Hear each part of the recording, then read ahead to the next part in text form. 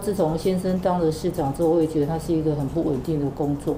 我是有放一些呃少量的现金在里面，以备不时之需。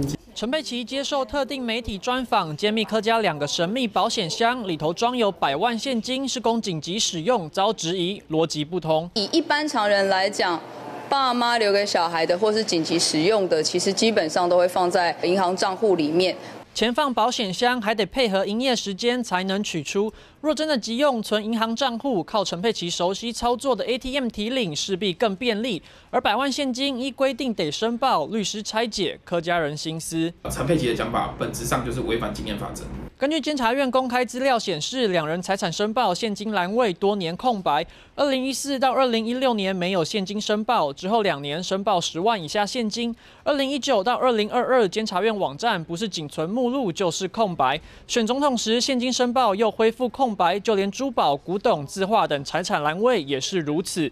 但陈佩琪也认了，这些都在保险箱，放的都是爸爸妈妈在我。呃，结婚的时候给我的一些金饰的嫁妆，还有婆婆送的一些玉器。事实上呢，看一下监察院的规定啊，就可以知道，珠宝的价值呢，个别超过二十万元以上才需要申报。那陈医师的珠宝价值呢，是没有超过二十万以上哦。民众党出面澄清，珠宝价值未达申报标准，对于百万现金却只字不提。有民众党人士受访指出，现金是选后才放入。不过陈佩琪开头就说，先生当上市长后就放入少量现金，说法不攻自破。三立新闻周威志、魏文轩、张俊伟台北报道。